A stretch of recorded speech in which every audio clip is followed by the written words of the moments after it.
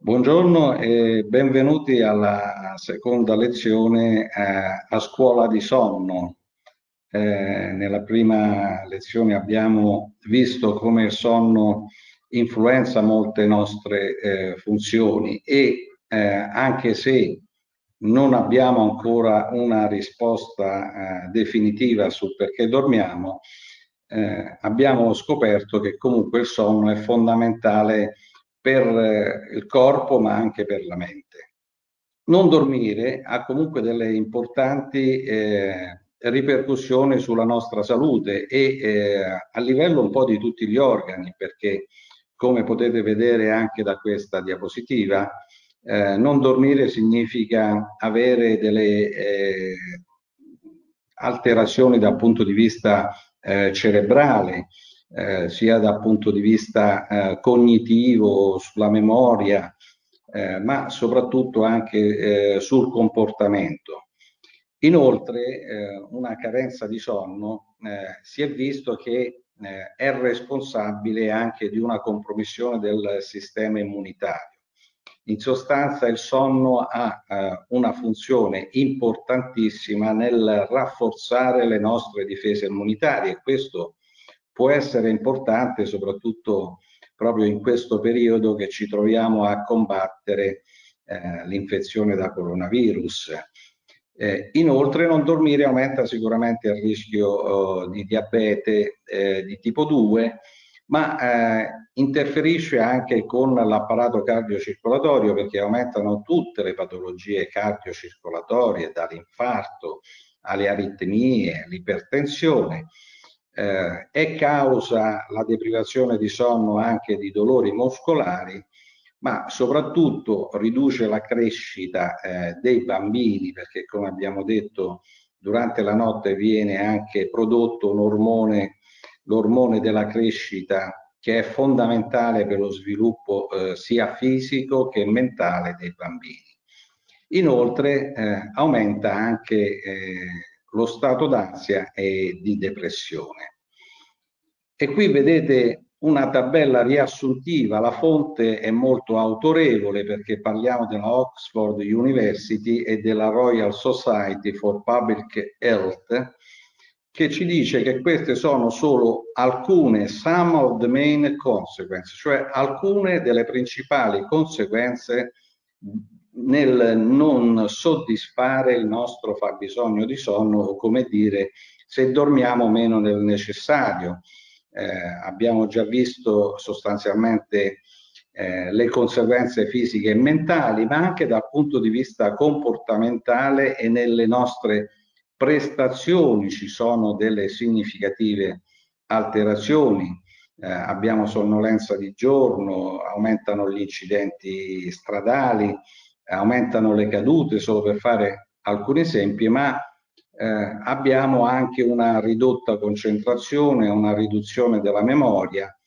e eh, praticamente tutte le nostre funzioni ne risentono eh, in modo eh, negativo. Le conseguenze, eh, come dicevamo, della deprivazione di sonno è una delle più eh, evidenti è la sonnolenza diurna e a questo non si possono sottrarre neanche i potenti, come si dice. Se io non ho soddisfatto il mio fabbisogno di sonno, può capitare che di giorno eh, mi addormenti nelle situazioni più disparate. Eh, L'eccessiva sonnolenza diurna, eh, che viene intesa come incapacità a rimanere svegli nelle ore diurne, anche mentre noi svolgiamo le nostre eh, attività sostanzialmente, può essere diciamo eh, in forma più o meno grave, diciamo, alcune situazioni noi possiamo avere una eh, eccessiva sonnolenza solo in situazioni monotone, faccio un esempio, come stando a guardare il televisore oppure eh, se sono passeggero in macchina. Eh, in altre circostanze, quando eh, la eccessiva sonnolenza è moderata, noi possiamo avere anche, eh, averla anche in situazioni che richiedono una certa attenzione, come ad esempio mentre, mentre sto leggendo un libro. ma in situazioni gravi può interrompere attività in corso come anche eh, parlare o guidare un'automobile. E badate bene che eh, se voi vedete i dati epidemiologici in fondo alla diapositiva, ben eh, è stimato che dal 5 al 28% della popolazione soffra di eh, eccessiva eh, sonnolenza diurna, quindi sono dati direi molto significativi.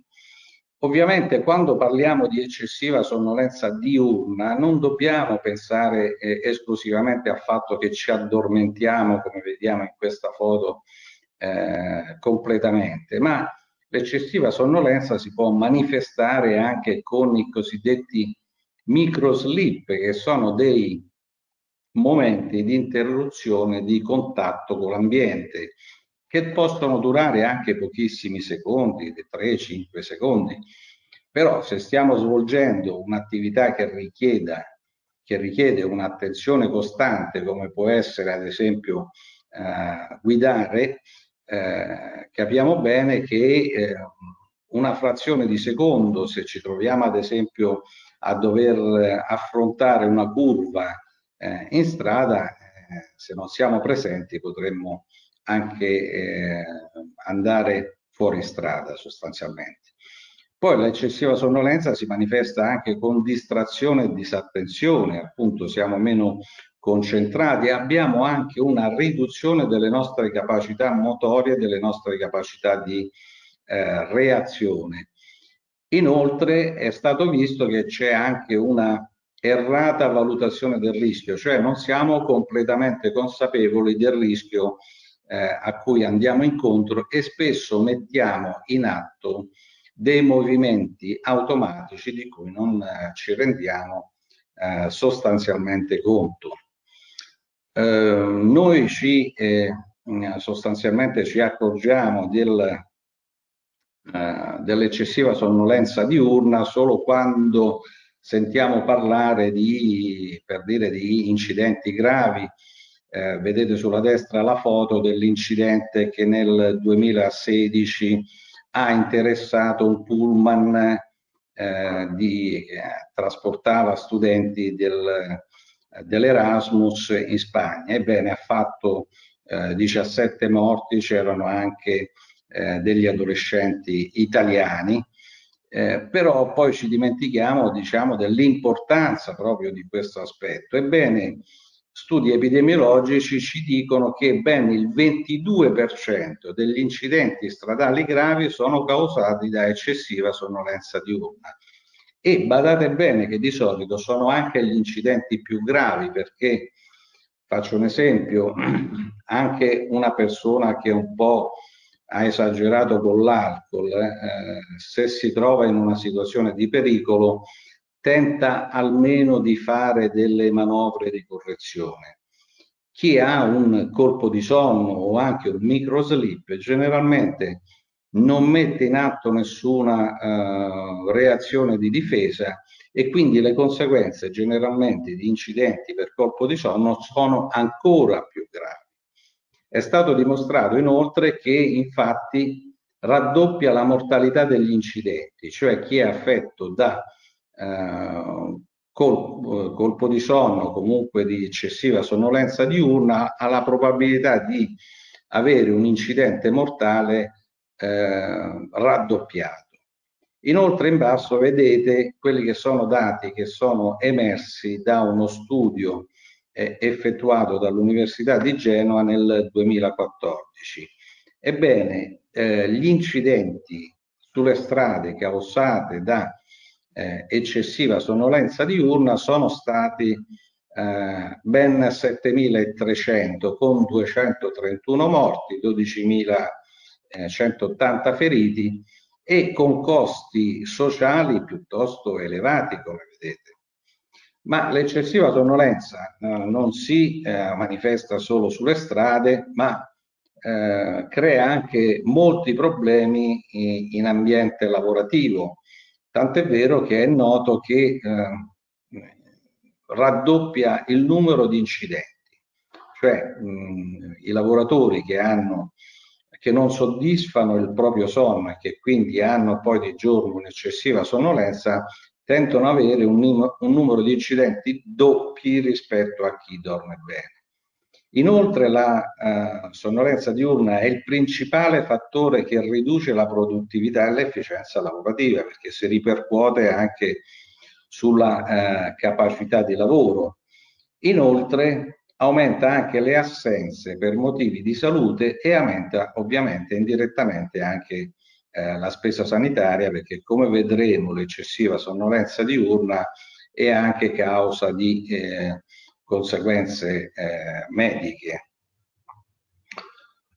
Qui vedete rappresentati alcuni dei più gravi incidenti che sono avvenuti a livello mondiale e che ormai fanno parte del, diciamo, qualsiasi libro di medicina del sonno eh, porta queste eh, fotografie eh, proprio perché le commissioni che hanno poi studiato le cause di questi incidenti hanno potuto verificare che essi erano dovuti a una condizione di scarsa attenzione, concentrazione e di eccessiva sonnolenza dovuta a una carenza di sonno. E qui vedete mi riferisco a Trima Island e Chernobyl che sono, due, sono stati due incidenti eh, di centrali nucleari molto ma molto gravi e importanti anche nelle conseguenze.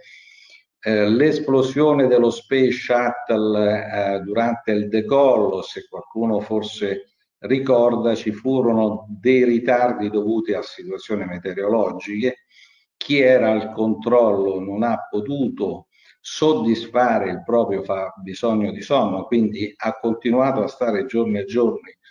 alla stazione di controllo, non ha dormito a sufficienza e sono stati commessi degli errori gravi eh, che la Commissione ha stabilito secondari proprio a questa eh, deprivazione di sonno. Poi abbiamo anche eh, l'incidente della Exxon Valdez che eh, molti ricorderanno è una petroliera che si è incagliata sulle coste dell'Alaska e che ha fatto uno dei disastri eh, marini più importanti. Anche lì chi era quella notte al controllo di questa petroliera non aveva dormito a sufficienza e ha commesso degli errori clamorosi, ma direi che è più grave di tutti questi incidenti è sicuramente quello che si è verificato in India, eh, l'incidente di Bhopal nel 1983, in cui ehm, uscirono dei gas nocivi da un'industria eh, di pesticidi eh, e questo determinò già al momento la morte di 6.000 persone, ma poi eh, questa situazione ha coinvolto ben 100, circa 150.000 persone eh, anche negli anni successivi. Quindi come vedete eh, le conseguenze proprie della eh, incapacità di mantenere un'attenzione e un controllo della situazione possono essere piuttosto eh, gravi eh, ed importanti. Tant'è vero che l'Organizzazione eh, Mondiale della Sanità ha definito i disturbi del sonno una grave epidemia mondiale. Ormai tutte le società eh, industrializzate soprattutto hanno dei ritmi tali in cui il sonno viene eh, molto spesso limitato, compresso eh, e questo sta causando disturbi, come dicevamo, sia sulla salute sia sulle nostre capacità funzionali. E anzi, è eh, stato stimato mh, mm, che il costo annuale dei disturbi del sonno sono nei paesi industrializzati pari all'1,5-2% del prodotto interno lordo, cioè non è una condizione che si ripercuote solo sulle nostre capacità funzionali, ma ha anche dei costi sociali elevatissimi. Ora, eh, in Italia non abbiamo eh, delle valutazioni dei costi della eccessiva sonnolenza, ma abbiamo Comunque un unico dato che ci deriva dall'intesa Stato-Regioni del 2016 eh, in cui venivano verificati quelli che erano i costi eh, dell'OSAS. L'OSAS è un acronimo che sta per sindrome delle apnee ostruttive nel sonno, cioè mh, quelle persone che spesso russatori che durante la notte eh, interrompono il respiro. Ebbene, si è visto che eh, i costi annuali per questa patologia piuttosto frequente ma assolutamente poco diagnosticata sono di circa 5 miliardi e 200 milioni. Ebbene, eh, se poi però andiamo a vedere nella stessa relazione quelle che sono, diciamo, i vari capitoli di spesa, eh, come potete vedere, i costi sanitari diretti, cioè quelli spesi per la diagnosi e la terapia di questa patologia, sono soltanto 316 milioni, cioè il 6%, mentre tutto il resto sono per i costi sanitari da mancato riconoscimento e mancata prevenzione e per i costi non sanitari, cioè gli incidenti. Eh, e questa appunto è una delle patologie, eh, l'apnea nel sonno è una delle patologie che si caratterizza più frequentemente di giorno proprio da essere accompagnata da un'eccessiva sonnolenza diurna. Quindi, ripeto, è, è molto eclatante la, quello che la differenza tra quello che spendiamo per fare una diagnosi, una terapia e quello che invece poi siamo costretti comunque a spendere perché non abbiamo gestito il problema. Inoltre nello stesso documento era sottolineato che non sono compresi i costi sociali esistenziali quali peggioramento della qualità della vita, problemi coniugali, divorzi, vita sociale e di relazione. Quindi come vedete eh, impatto importante sulla salute, impatto importante sulle nostre capacità mentali e fisiche, ma anche importanti costi sociali dal punto di vista economico. Quindi io credo che eh, dopo questa carrellata potremmo senz'altro condividere l'opinione di Wendell Berry, che è uno scrittore e poeta americano, il quale sosteneva che la società moderna ha preso una delle soluzioni più perfette della natura, il sonno, e l'ha suddivisa in due problemi. Una sempre maggiore difficoltà a dormire la notte, una conseguente difficoltà a rimanere svegli di giorno. E abbiamo cercato ovviamente dei rimedi per poter mantenere eh, le nostre prestazioni al meglio, ma come dire, spesso i, i rimedi sono peggiori del problema, infatti si è fatto uso e abuso di farmaci, sia per dormire sia per rimanere svegli durante il giorno, l'uso di alcol, l'uso di alcol soprattutto per favorire il sonno. Eh, di giorno abbiamo abusato di sostanze attivanti, quali può essere il caffè, eh, l'energy drink, la Coca-Cola che contiene anch'essa caffeina, oppure anche il fumo, perché il fumo è sicuramente una eh, sostanza eh, eccitante. Quindi, come vedete, eh, abbiamo cercato eh, di correggere eh, delle nostre pessime abitudini, quello di comprimere il sonno, di non dare a noi stessi il nostro fabbisogno di sonno con dei rimedi che poi creano essi stessi altri problemi eh, ancora. Eh, tant'è vero che se andiamo a vedere come trattiamo l'insonnia, queste sono state delle indagini effettuate in Italia, si vede che la maggior parte dei pazienti insonni, ad esempio, si affida all'autoterapia, cioè eh, al fai da te sostanzialmente. Anzi, c'è ancora una eh, non considerazione eccessiva dell'insonnia come una patologia importante, questo sia nella popolazione generale,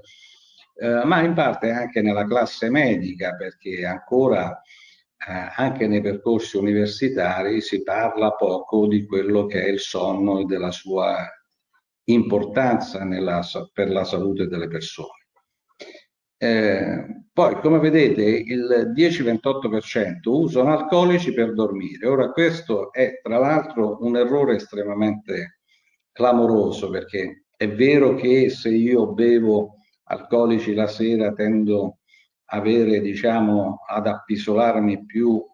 eh, facilmente, ma eh, è anche vero che intanto quello che ci dà l'alcol non è un sonno, ma è una sedazione. Inoltre l'alcol tende a ridurre le due parti più importanti del sonno, sia il sonno eh, profondo, eh, sia la fase REM, la fase REM è quella dei sogni, dei movimenti rapidi degli occhi. Quindi abbiamo un sonno sicuramente di pessima qualità. Inoltre l'alcol eh, ha un metabolismo rapido, quindi ci eh, eh, abbandona durante la notte, quindi poi ci risvegliamo. Inoltre l'alcol ha anche un effetto diuretico, per cui eh, chi beve troppo generalmente si deve alzare poi anche la notte per andare al bagno e quindi frammenta il sonno stesso. Poi si è visto eh, sempre da queste mh, mm, indagini che il 22-29% usano sostanze off-label che non sono diciamo, eh, indicate per eh, i disturbi del sonno. Eh, solo il 5-8% usa farmaci su prescrizione medica. Uno studio eh, chiamato studio Morfeo che è stato effettuato dall'Associazione Italiana Medicina del Sonno insieme alla medici di medicina generale, si è visto che tra le persone che andavano diciamo dal medico per altre ragioni eh, sono state intervistate ebbene il 64% riferivano comunque disturbi del sonno anche se non li eh, condivideva col medico stesso sostanzialmente ma solo il 16% era in terapia. Quindi come dire c'è ancora una scarsa attenzione, una scarsa educazione eh, su quello che è il sonno e, sue, e la sua funzione. Eh, tra l'altro, come dicevamo prima, eh, spesso ci sono stati dei rimedi non sempre appropriati come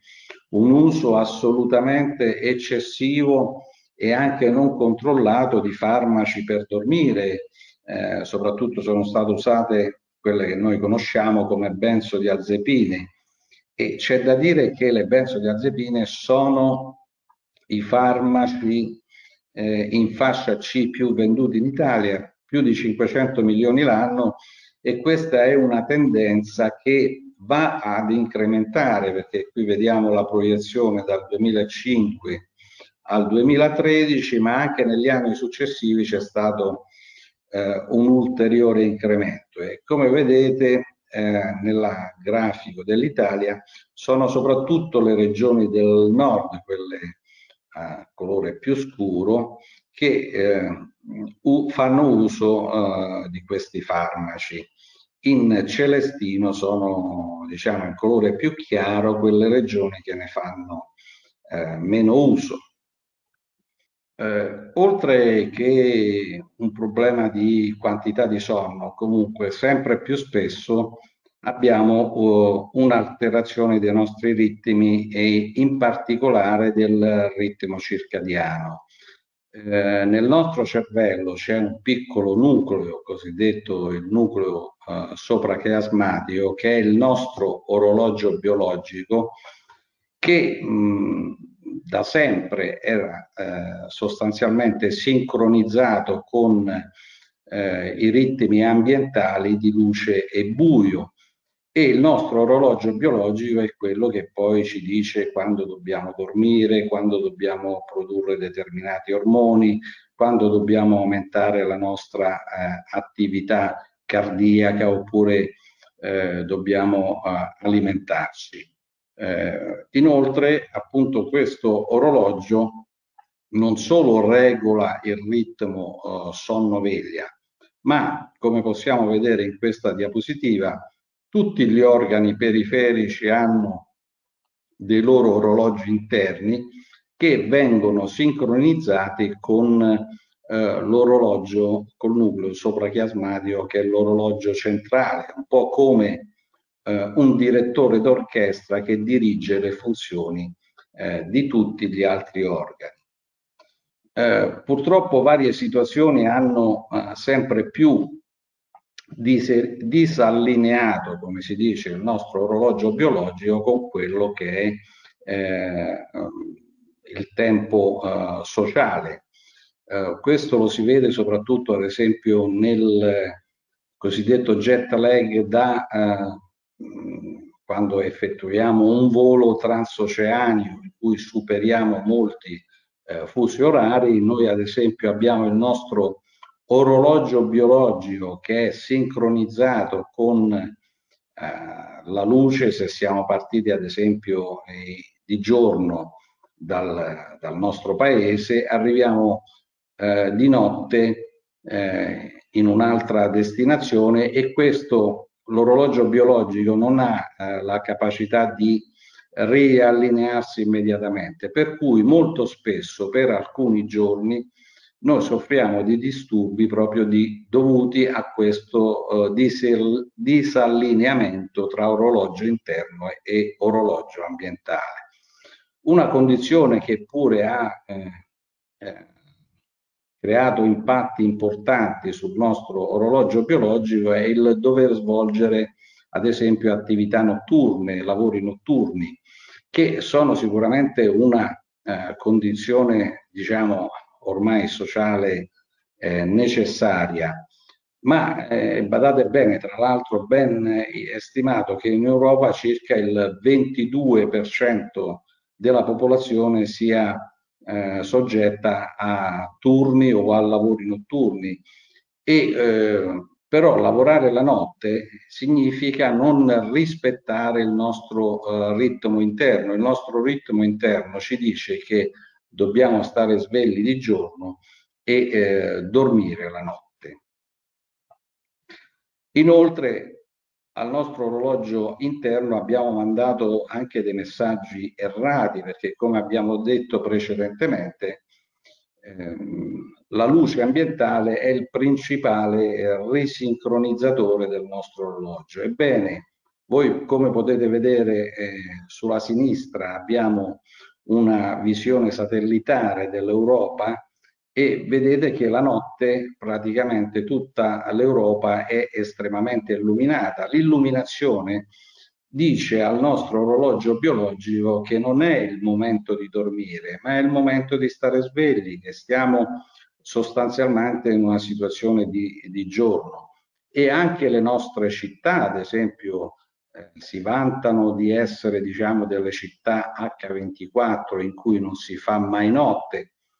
oppure anche le luci che spesso utilizziamo nei nostri appartamenti sono luci che tendono, come dire, a inviare messaggi errati al nostro orologio biologico, il quale ha bisogno proprio invece dell'alternanza della luce e del buio per dirci quali sono i momenti migliori per poter eh, dormire, ma anche mangiare o fare altre eh, attività. Questo mh, soprattutto sta interessando sempre più eh, le nuove generazioni, diciamo i bambini, gli adolescenti, che eh, fanno un utilizzo spesso eh, eccessivo dei cosiddetti electronic eh, devices, che sono lo smartphone, il tablet, il computer. Questi sono tutti strumenti che interferiscono notevolmente con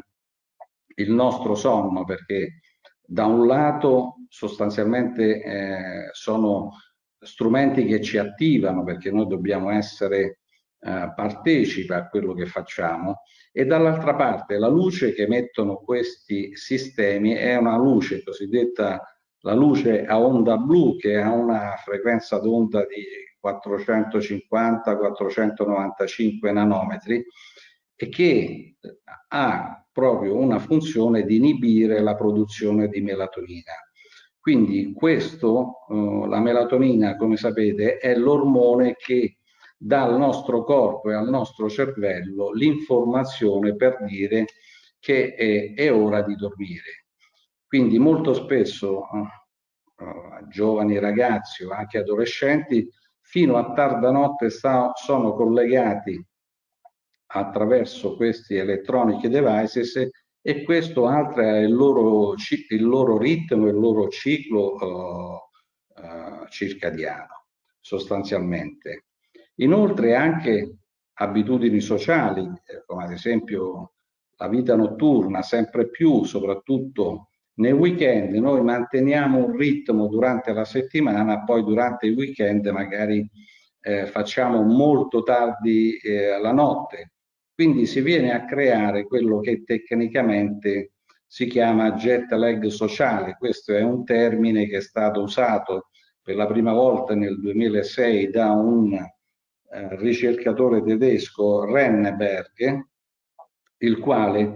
appunto mh, chiamò jet lag sociale la differenza tra quello che è il nostro eh, ritmo del nostro orologio biologico e quello che sono le nostre abitudini sociali.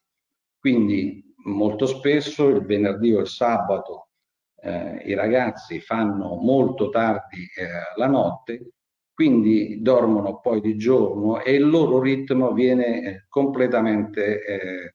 sfasato rispetto a quello che è il nostro ritmo interno. Questo non è senza conseguenze perché ad esempio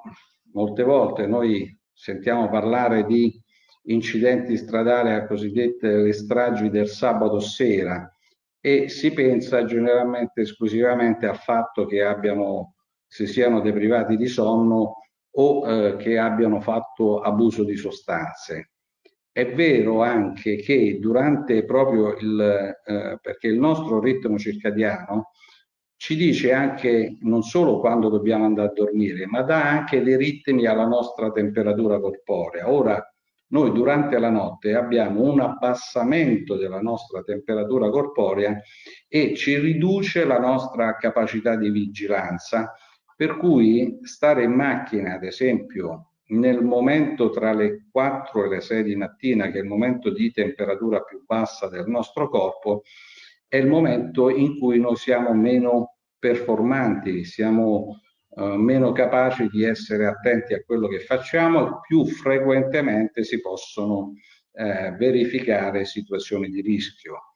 Inoltre si è visto che il jet lag sociale riduce anche le prestazioni scolastiche, aumenta il rischio di dipendenze, aumenta il sovrappeso ed obesità, aumenta le patologie cardiocircolatorie, in particolare l'ipertensione, anch'essa è abbastanza frequente eh, in popolazioni giovani sostanzialmente, aumenta il rischio di diabete e eh, di depressione. Quindi notevoli sono le conseguenze sia sulla salute e eh, sulle nostre prestazioni proprio per, per il fatto che eh, non siamo più sincronizzati tra orologio nostro interno e eh, orologio ambientale. Sulla, eh, questa è una raccomandazione diciamo, della durata eh, del sonno per tutta l'età che è stata sviluppata dalla National Sleep Foundation, che è un'associazione americana no profit che cerca di fare appunto educazione al sonno. E voi vedete che in età scolare, ad esempio, eh, sia per i bambini sia per gli adolescenti, la quantità di ore di sonno necessarie sono per i primi 9-11 ore e per gli adolescenti 8-10 ore. Ebbene, questi valori sono al giorno d'oggi eh, frequentemente non mantenuti, tant'è vero che la nostra associazione Assirem insieme alla ASL eh, Roma 4 e con il patrocinio dell'UNICEF ha svolto un'indagine epidemiologica sui disturbi del sonno in età scolare, in particolar modo abbiamo fatto uno screening su più di 800 eh, bambini di terza elementare, ebbene si è visto che già a questa età il 47% dorme meno del necessario, il 10% ha disturbi a iniziare o a mantenere il sonno, il 31% non vuole andare a dormire la sera, cioè questo ci dice come anche le nuove generazioni abbiano un atteggiamento eh, non favorevole rispetto al sonno. Vorrebbero non andare a dormire perché pensando che sia uh, anch'essi non hanno la consapevolezza dell'importanza del sonno per il loro sviluppo fisico e mentale. Poi il 26,1% ha difficoltà a svegliarsi la mattina o si risveglia stanco perché ovviamente se noi non soddisfiamo il nostro fabbisogno di sonno, cioè se non dormiamo le ore necessarie per la nostra età, la mattina eh, praticamente quando suona la sveglia eh, siamo ancora in debito di sonno. Poi il 18% ha disturbi respiratori nel sonno, non respira bene durante la notte, russano o hanno apnee. Ecco, le apnee nel sonno sono importanti a tutte le età, ma ovviamente lo sono ancora di più eh, nei giovani, nei bambini, perché ehm, bambini che poi soffrono di questa patologia generalmente hanno un rallentato sviluppo sia fisico che mentale. Quindi sarebbe opportuno assolutamente porci una maggiore attenzione. Eh, come dicevamo, il sonno nei bambini e adolescenti è, è, ancora più importante che negli adulti, è sempre importante, ma lo è ancora di più nei bambini perché, eh, come sappiamo, favorisce lo sviluppo psicofisico e la maturazione cerebrale. La maturazione cerebrale vuol dire che durante il sonno aumentano le nostre sinapsi, cioè le nostre connessioni tra i vari neuroni cerebrali, quindi anche favorisce lo sviluppo eh, intellettivo e questo è soprattutto dovuto alla cosiddetta fase REM fase del sogno che è molto uh, um, quantitativamente maggiore appunto nelle, nei bambini proprio perché sono ancora in una fase di sviluppo mentale. Inoltre migliora le capacità di concentrazione e di attenzione, migliora la memoria. Migliorare la memoria significa, eh, sono stati fatti degli studi che hanno eh, dimostrato che eh, se io apprendo delle nuove nozioni e poi faccio un buon sonno, eh, poi riesco più facilmente a ricordare quello che ho appreso. Così come per apprendere altre informazioni devo aver dormito bene prima. Questo perché? Perché durante il sonno, come abbiamo detto, ehm, c'è il cosiddetto consolidamento della memoria. Inoltre la memoria eh, recente viene anche in qualche modo confrontata con le memorie già presenti nella memoria a lungo termine e questo permette di fare quello che tecnicamente si chiama un apprendimento continuo, anche nel sonno noi continuiamo ad apprendere. Poi migliora anche il comportamento, cioè abbiamo visto soprattutto negli adulti la prima conseguenza della carenza del, eh, del non dormire a sufficienza è la sonnolenza diurna. Nei bambini molto spesso si verifica esattamente l'opposto, nel senso che molto spesso questi bambini eh, sono i cosiddetti bambini difficili, eh, facilmente eh, irritabili, eccitabili eh, e molto spesso si fa una diagnosi la cosiddetta ADHD che sta per Attention Deficit Iperattività Disorder, cioè bambini con scarsa attenzione che hanno dei comportamenti iperattivi, molto spesso dietro questa diagnosi si nasconde un disturbo del sonno. Quindi non dobbiamo dimenticare eh, questi aspetti perché eh, molto spesso chi vede in primis questi comportamenti sono proprio eh, i professori a scuola che vedono questi bambini che non hanno molta capacità di attenzione e che spesso sono invece irascibili o eccitabili dal punto di vista comportamentale. Eh, il sonno è tra l'altro importante ehm, in questa età perché come sapete anche eh, le patologie psichiatriche molto spesso si associano a disturbi del sonno, nel senso che l'insonnia è molto spesso un sintomo iniziale, cioè il primo sintomo di una patologia psichiatrica che si sta sviluppando. In altre circostanze eh, l'insonnia accompagna la malattia e ne compromette anche eh, il recupero. In altri casi addirittura l'insonnia rimane come sintomo anche dopo la eh, guarigione della patologia psichiatrica, ma il fatto che persista l'insonnia è anche un indice di una uh, possibile recidiva. E ehm, l'importanza del sonno eh, per le pat eh, patologie psichiatriche, non parlo solo di ansia e depressione, ma soprattutto, nella, soprattutto nell'adolescenza, quando molto spesso si sviluppano eh, le cosiddette crisi psicotiche, il sonno diventa uh, un elemento uh, assolutamente fondamentale. È stato anzi dimostrato che uh, molti circuiti cerebrali e molti neurotrasmettitori che ehm, sono interessati nella regolazione del sonno sono altrettanto interessati nello sviluppo di patologie psichiatriche. Ora con questo non voglio dire che eh, dormire bene significherebbe sicuramente evitare tutte eh, le patologie psichiatriche, ma quello che emerge ormai in modo sempre più chiaro è che dormire bene quantomeno limita lo sviluppo di patologie psichiatriche e quando queste sono in corso dormire bene può eh, indirizzare verso una prognosi più favorevole. Eh, consapevoli diciamo appunto di, dell'importanza del sonno ma purtroppo di un'educazione sociale che ancora è molto carente nel nostro paese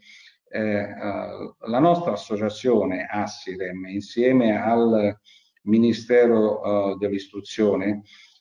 eh, ha già fatto per due anni eh, consecutivi un concorso nazionale sonno o sondesto in cui si sono indirizzati i bambini a fare degli elaborati con